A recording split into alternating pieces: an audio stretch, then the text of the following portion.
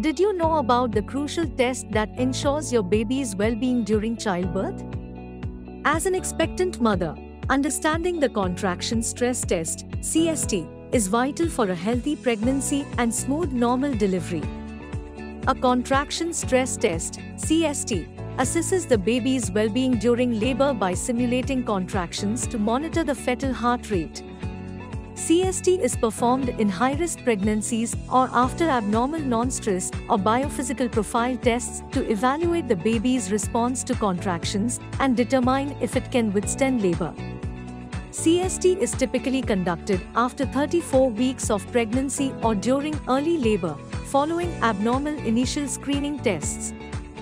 During CST, oxytocin is administered to induce contractions while monitoring the baby's heart rate and oxygenation levels, usually lasting around 2 hours.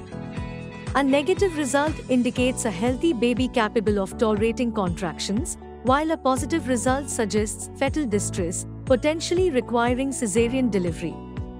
Risks of CST include preterm labor, making it unsuitable for certain conditions like multiple pregnancies or prior caesarean sections. However, the benefits of assessing fetal well-being often outweigh the risks, aiding in optimal delivery planning. Despite risks, the CST helps us ensure a safe delivery for you and your baby. Trust your healthcare provider and cherish the magic of motherhood.